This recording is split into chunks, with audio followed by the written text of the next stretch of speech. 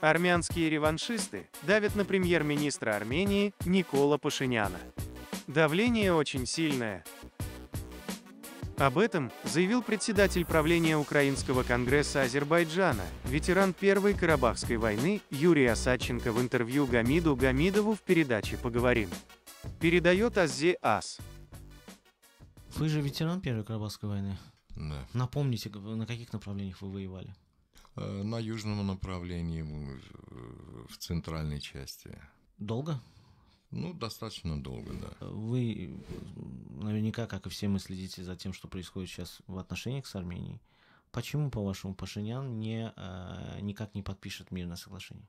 У него очень сильное, очень сильное давление на него оказывается реваншистскими кругами в самой Армении, но в основном, в принципе, сегодня, в принципе, 60-70% населения Армении готово будет пойти на Мирное соглашение. на мирное соглашение.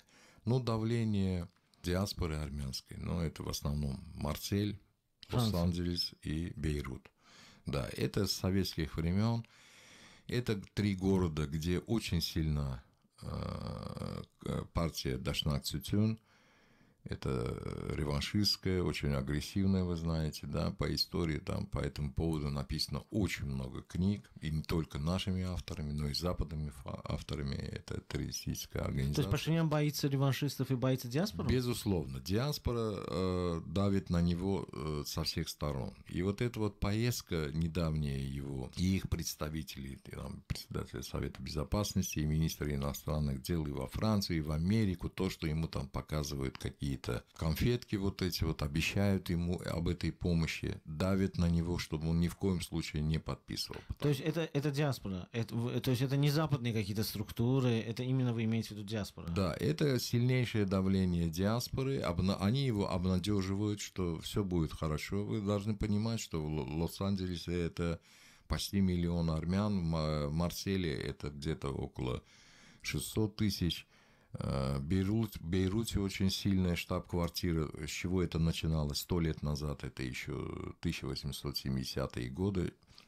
Все формировалось, это не один день. И комитет Айдата ихний, это подразделение Дашнак Цютюна для про- продвижения так называемого геноцида армян. Там крутятся очень большие деньги. Там э, эти деньги выделяются на подкуп определенных депутатов. Ну, давайте так скажем. Да, на сегодняшний день Макрон, мы все понимаем, Это мы- даже его Это мы понимаем. армянские корни там и так далее. Если все равно они оказывают давление на Пашиняна, он в итоге так никогда, по-вашему, не подпишет мирное соглашение или подпишет? Нет, он здесь э, получается две силы. Одна сила это давят э, другие страны, такие как Турция, там э, и заинтересованные игроки региональные. Заинтересованы в том, чтобы мир был. чтобы мир был, да. Это с одной стороны. Значит, на, оказывается давление, да, и тот же самый Боре, вы понимаете, да, что с Праги, в принципе, все приехали э, с, с надеждой на то, что вот-вот будет подписан мирный договор. Россия заинтересована в том, что был подписан мирный договор, по-вашему? В данном случае я бы, я, я не могу сказать это однозначно, ответить на этот вопрос. А как можете оценить э, э, вообще поведение России в процессе урегулирования отношений между Баку и Ереваном?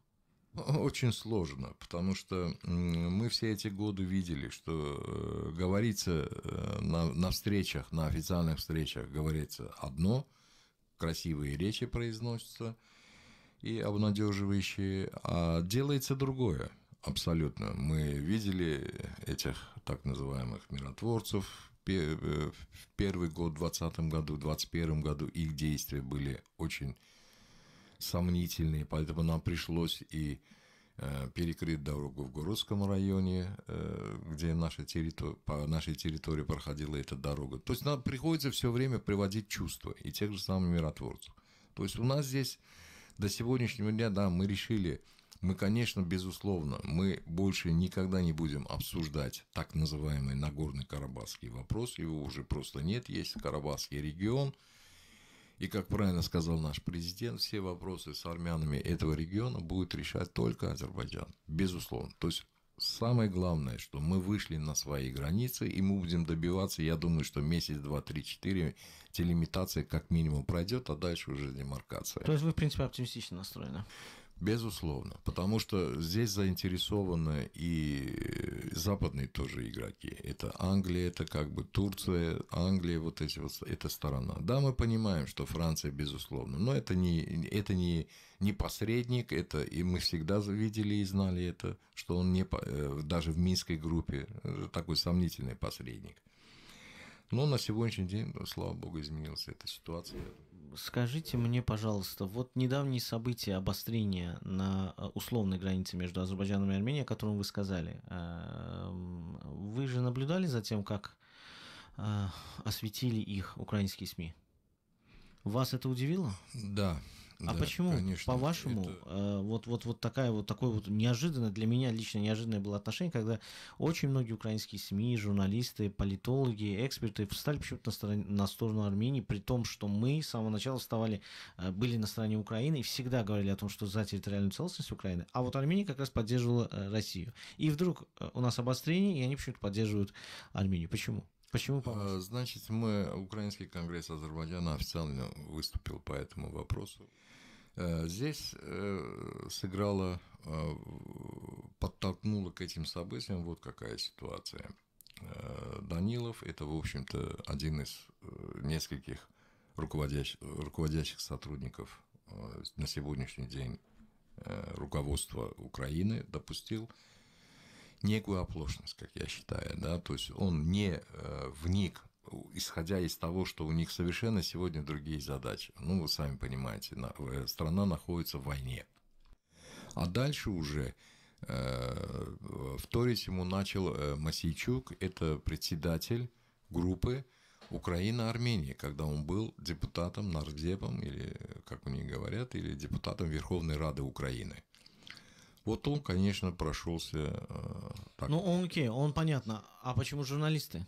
Многие СМИ, немало их было. Да, многие журналисты, некоторые журналисты, естественно, учитывая, что там довольно э, серьезная и влиятельная, опять-таки, армянская диаспора, надо понимать, что диаспоры это, э, это очень серьезный инструмент. А учитывая, что у них э, диаспора формировалась уже около 100 лет, это начало 20 века они начали, ну, по истории э, армянский народ, он все время э, кочевал, то там на Ближнем Востоке, там с Ближнего Востока в Османскую Турцию, там с Турции, там э, в Османскую империю, да, то я имею в виду там 16, 17, 18 века. Дальше это Кавказ, потом события в начале 20 века, это Европа, там Франция, Америка и так далее. То есть это Э, у них вот эта вот э, диаспорская работа, она э, с годами, вот те народы, которые как бы в силу определенных обстоятельств вынуждены переезжать, по крайней мере, основные части или большие части этого народа переезжать из страны в страну, а у них формируется, очень хорошо формируются диаспорские связи. Там это очень серьезный вопрос. Это диаспора, это не просто то есть вы хотите сказать, что диаспора повлияла на журналистов Украины? Безусловно. Определенные части, она очень влиятельная. Там, там много журналистов среди них. Э, армянской национальности. Ага. И вы даже по, порой можете по фамилиям и не узнать, что это значит, представитель армянской диаспоры. Да? И вот, вот такая вот э, ситуация сложилась. Э, в этих случаях в прежние времена очень активно работали именно те люди, которые государственные чиновники, и украинские, и те, которые представлены здесь, и которые решали это вопросы в корне. Сейчас здесь получилось, что э, не было никакой реакции от официальных лиц Украины, и поэтому вот как бы вот этот ком э, начал э, нарастать, в принципе, из ничего. Если бы было бы например, э, какое-то объяснение, что ну вот э, в связи с тем-то или там по, по, по таким-то вопросам там. У нас были проблемы и в 2013 году, когда Украина поставила в Армению оружие, но в тот период э, посол Украины в Азербайджане сделал так, что так организовал этот процесс, что после визита Януковича, президента Украины на тот момент, в Индию, он задержался, пролетел через Азербайджан, задержался на три часа здесь и дал гарантию о том, что больше такие вопросы, больше такие проблемы возникать не будут. То есть над этими вопросами надо работать. Просто э, не, не только общественность, не только блогеры, не только журналисты, а прежде всего э, здесь должна быть инициатива тех людей, которые обязаны этим заниматься, которые уполномочены этим заниматься. То есть должны быть их, наверное, выступления, наверное, должны быть объяснения там и так далее, и так далее. И вот по последнему Э, событию, э, это когда уже вот такой уважаемый э, депутат Верховной Рады Украины Александр Мирешко, который, кстати говоря, в 20-х, в 20 году эм, один из нескольких депутатов Верховной Рады Украины выступал очень активно в поддержку Азербайджана, и недавний его пост, конечно, тоже нас немножко значит, напрягает и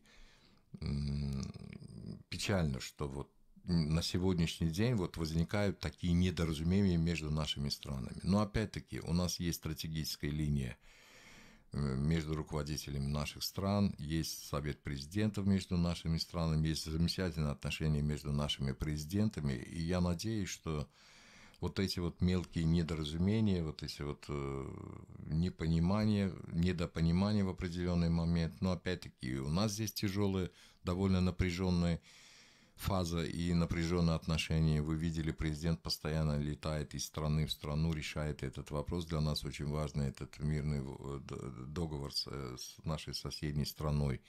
Ну и война, конечно, в Украине накладывает определенный отпечаток. Плюс э, в основном, допустим, представители азербайджанской диаспоры, они ринулись воевать за территориальную целостность Украины. То есть им или э, заниматься гуманитарной помощью. То есть как бы вот эта часть ослабла. Информационная. Информационная, да. Если раньше они все время очень были активны, то азербайджанцы, как люди, которые благодарны за то, что они проживают э, в Украине, на сегодняшний день, например, вот только по официальным данным, и, то это как, какие официальные данные, это сообщение тех же самых представителей азербайджанской диаспоры Украины, 15 человек уже, свыше 15 человек погибло, только погибло. Мы не знаем еще, сколько там воюют азербайджанцев за территориальную целостность Украины. Подпишитесь на канал, ставьте лайки и комментируйте. Спасибо.